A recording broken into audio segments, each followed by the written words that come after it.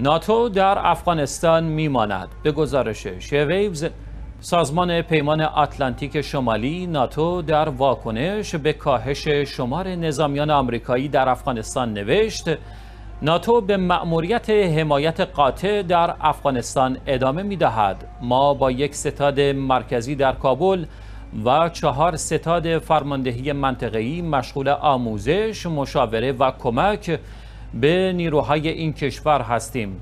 این بیانیه می افزاید ما به نیروهای امنیتی افغانستان در تلاش برای دستیابی به صلح پایدار کمک کرده و اطمینان حاصل می کنیم که این کشور هرگز بار دیگر به پناهگاهی امن برای تروریسم بین المللی تبدیل نشود.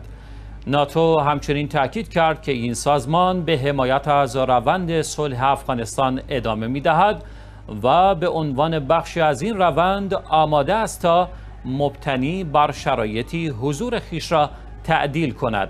ناتو ادامه داد که در ماهای آینده حضور نیروها در افغانستان بر اساس وضعیت میدانی این کشور مورد ارزیابی قرار می گیرد و وزیران دفاع کشورهای عضو این سازمان ماه آینده درباره حضور در افغانستان دیدار خواهند کرد. این بیانیه افزود هر تصمیمی که در این باره اتخاذ کنیم مهم است که ما این کار را با هم و به روشی هماهنگ و آگاهانه انجام دهیم.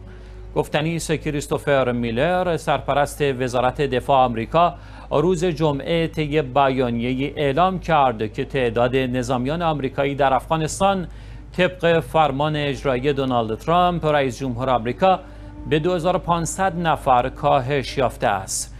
میلر را همچنین تصریح کرد. اگرچه این وزارتخانه می تواند برای کاهش هرچه بیشتر تعداد نیروهای آمریکایی در افغانستان و رساندن آن به صفر تا ماه می 2021 چهار ماه دیگر برنامه ریزی کند اما کاهش تعداد نیروها در آینده بستگی به شرایط خواهد داشت.